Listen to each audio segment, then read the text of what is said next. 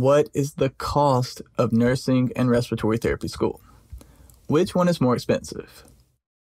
Now, according to my research, the average cost of tuition for both programs is about the same, ranging from 4000 to upwards of 12000 per year. Now, again, there are a lot of variables at play for this one as well, and it really depends on your state and the school that you want to attend. The cost of tuition can be much more expensive if you were to attend a university, whereas it could be much less expensive if you enroll in an accredited program from a community college.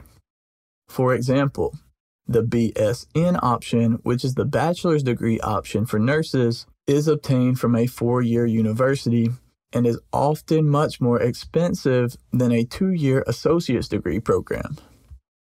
With that said, it's important to keep in mind that the bachelor's degree in nursing does offer more advancement opportunities, which likely explains why the tuition cost is much more.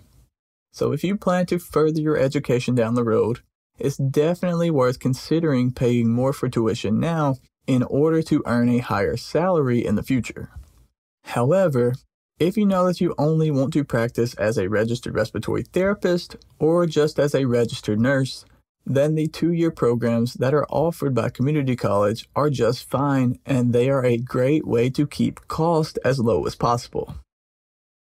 Alright guys, that's it for this one. Thank you so much for watching.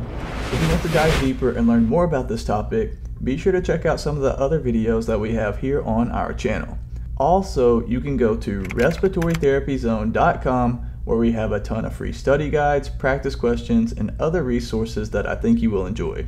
I'll drop links to everything you need right below this video down in the description. And if you want to support the channel, be sure to drop a like on this video and you might as well go ahead and click the subscribe button while you're down there. I would greatly, greatly appreciate it. That's it for this one. Have a blessed day, and as always, breathe easy, my friend.